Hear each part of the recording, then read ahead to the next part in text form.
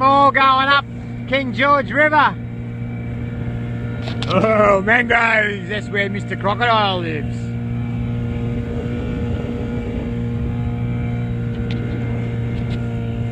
I hate that motor.